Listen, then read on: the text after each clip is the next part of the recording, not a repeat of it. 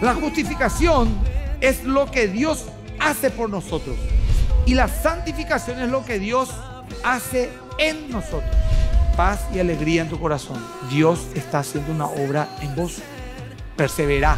Más que vencedores. Domingo, 10 horas. Solo aquí. 13. Siempre conectados.